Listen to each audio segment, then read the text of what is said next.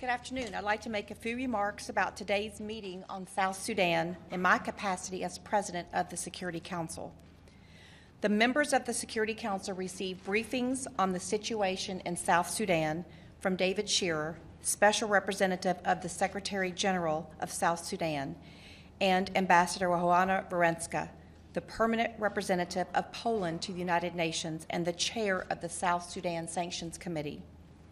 The members of the Security Council expressed concern that since the 100 day extension of the pre transitional period, limited progress has taken place on the implementation of key elements of the peace agreement.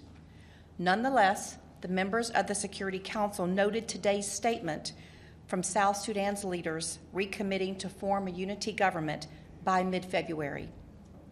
The members of the Security Council called on the parties to the peace agreement to reaffirm publicly and irrevocably their commitment to the full implementation of the peace agreement and to the ceasefire and cessation of hostilities agreements. The members of the Security Council called on the parties to make immediate progress on pre transitional tasks, including security arrangements and a process for the resolution of the number and boundaries of states in South Sudan.